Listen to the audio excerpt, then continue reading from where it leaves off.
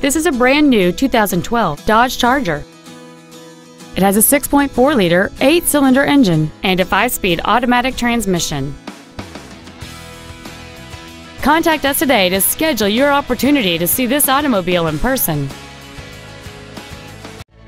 Allen Samuels Chrysler Jeep Dodge Alliance is located at 11200 North Freeway in Fort Worth, just south of Cabela's at the Golden Triangle exit off 35 West. Our goal is to exceed all of your expectations to ensure that you'll return for future visits.